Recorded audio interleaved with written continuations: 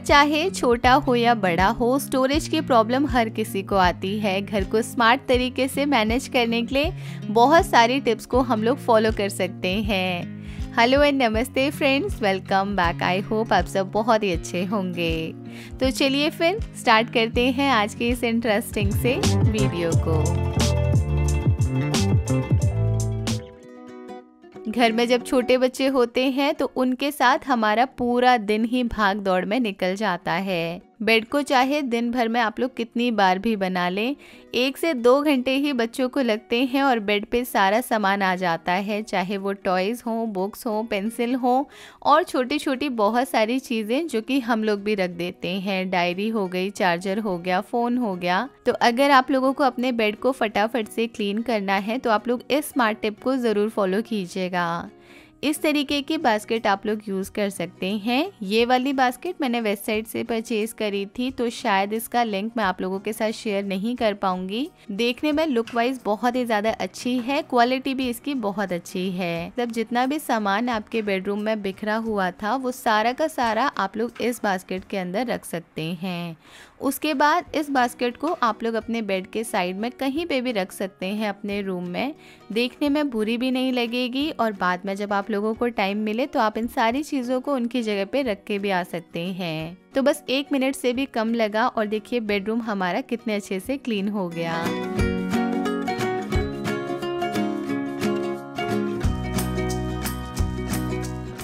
Bed side table पे आप लोगों को भी शायद ये इश्यू ज़रूर आता होगा। जब हम लोगों ने वहाँ पे एक साइड लैंप रखी होती है डेकोरेशन के लिए प्लांटर भी रख लिया होता है और अगर आप लोगों को रात को यहाँ पे फ़ोन रखने हैं मंचिंग के लिए कुछ रखना है लेट नाइट अगर हम लोगों को क्रेविंग होती है तो ये सारी चीज़ें रखनी पड़ती हैं। उसके साथ ही चार्जर भी हो जाते हैं बॉटल्स भी हैं पानी की, बच्चों की अलग, आप लोगों की अलग। तो हमारी ये जो छोटी सी साइड टेबल है, वो इतना सारा सामान बेयर नहीं नहीं कर पाएगी। तो हम लोग यहाँ पे क्या टिप फॉलो कर सकते हैं, जो कि बहुत ही ज़्यादा प्रैक्टिकल भी हो और हम लोग उसे डेली बेसिस पे यूज़ कर पाएँ। तो मैं यहाँ पे इस तरीके की साइड टेबल है, जो कि फोल्डिंग वाली होती है ना, उनको यूज़ करती हूँ। ये मेरे बेड के साइड में बहुत ही आसानी से आ जाती है। मैं रात को इसे इस तरीके से ओपन करके रख देती हूँ। अब जितनी भी एक्स्ट्रा चीज़ें थी लिप बाम रखना है क्रीम रखनी है रिमोट रखना है क्लचर रखना है मंचिंग के लिए एक बॉक्स रखना है, ये सारी चीज़ें यहाँ पर आ जाएँगी। और मेरी बेड साइड टेबल पे जो बास्केट रखी है, उसके अंदर मैं सिर्फ़ नॉवल्स को फ़ोन को और उनके चार्जर को ही रखती हूँ।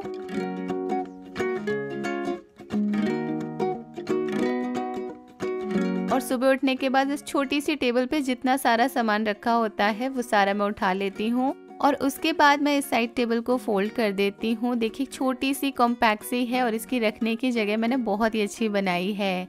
बेड के और मेरी बेड साइड टेबल के बीच की जगह में ये बहुत ही आसानी से फिट आ जाती है। जब ज़रूरत होती है तो निकाल भी सकते हैं, जब ज़रूरत ना हो तो किसी को दिखाई भी नहीं देगी। अक्सर आप लोग मुझसे ड्रेसिंग टेबल ऑर्गेनाइजेशन के बारे में पूछते हैं।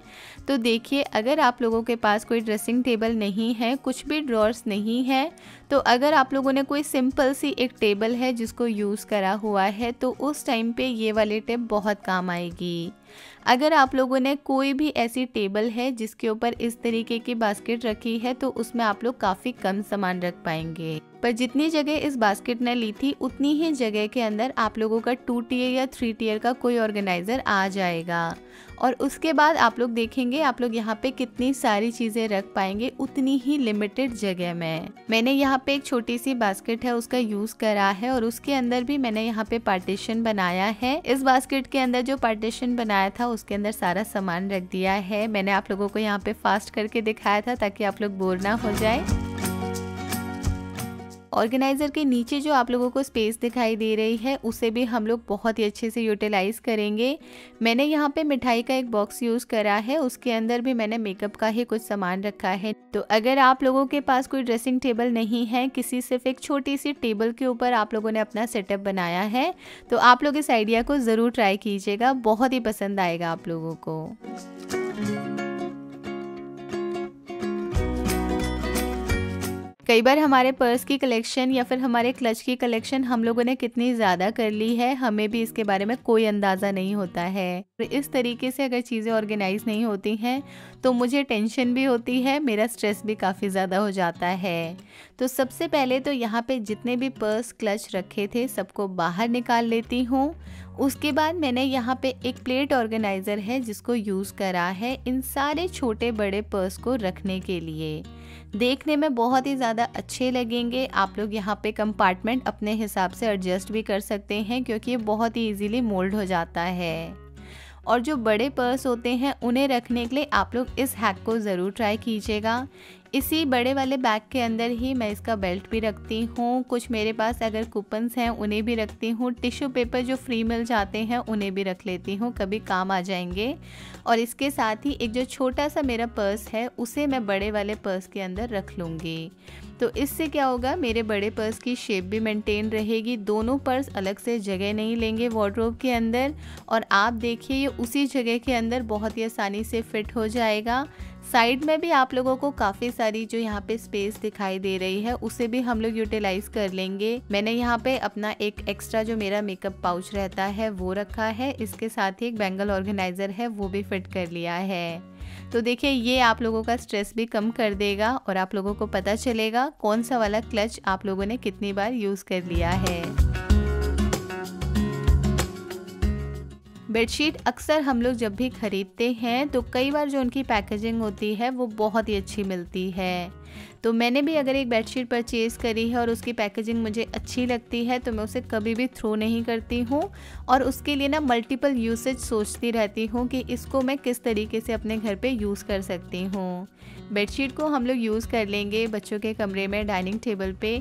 पर जो प्यारे प्यारे से कुशन कवर मेरे पास रखे हुए थे, जो कि मुझे दिखाई भी नहीं देते थे कि ये मेरे पास है, क्योंकि जितना आप लोग चीज़ों को ऑर्गेनाइज करके रखेंगे, उन्हें सही तरीके से रखते हैं तो आप लोग उन्हें यूज़ कर पाते हैं। ये देखिए, आप लोगों को पता भी नहीं होगा कि इतने सारे कुशन कवर मेरे पास थे, क्योंकि कहाँ बेड में रखे हुए थे, दिखाई भी नहीं देते थे और इनकी यूसेज भी इसी हिसाब से कम हो गई थी। तो अब ये बेडशीट के कवर के अंदर देखिए कितने अच्छे से ऑर्गेनाइज हो गए हैं। ट्रांसपेरेंट है, इसलिए अब मुझे सारे कुशन कवर्स इसके अंदर दिखाई दे रहे हैं। आगे आने वाली वीडियोस में इन्हें मैं आप लोगों को अपने लिविंग रूम में बालकनी में कहीं ना कहीं लगा के ज़रूर दिखाऊँगी। तब आप लोग बताइएगा ये आप लोगों को कैसे लगे।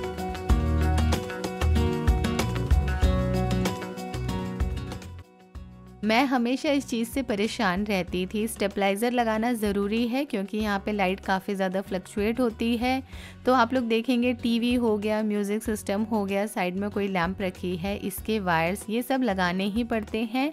और स्टेपलाइज़र अगर आप लोगों को टीवी यूनिट पे इस तरीके से दिखाई देगा तो कहाँ अच्छा लगने वाला है? तो इस स्टेपलाइज़र को हमें रखना भी है और दूसरों को दिखाना भी नहीं है। तो सबसे पहले मैंने इसके ऊपर एक वास को रखा है और उसी के कॉम्बिनेशन से मिलता जुलता एक बॉक्स रखा है। और इस बॉक्स के ऊपर हम लोग कुछ नॉवेल्स हैं जिन्हें रख देंगे। तो इन नॉवेल्स को हम लोग कुछ इस तरीके से रखेंगे कि हमारा स्टेपलाइज़र बिल्कुल भी ना दिखाई दे। और ये जो नॉवेल्स रखी हैं ना, ये बहुत ही ज़्यादा अट्रैक्टिव लगे हमारे लिविंग रूम में।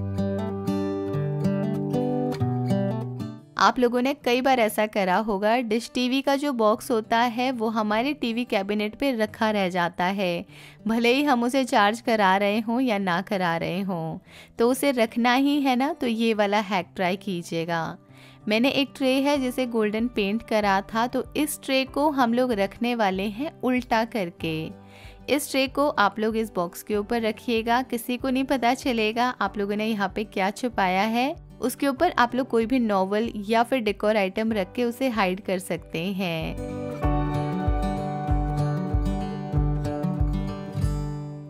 आज की वीडियो का कौन सा हैक या स्टोरेज सॉल्यूशन आप लोगों को पसंद आया, ज़रूर बताइएगा कमेंट सेक्शन में। अगर चैनल पे नए हैं तो ज़रूर सब्सक्राइब कर लीजिएगा, साथ में लगी घंटी को दबाइएगा, जब भी आगे वीडियोस आएँगी, आप लोगों को पता चल जाएगा। मैं मिलती हूँ आप लोगों से नेक्स्ट वीडियो में, तब तक ले with lots of love from that mystic ट्रंग take care and bye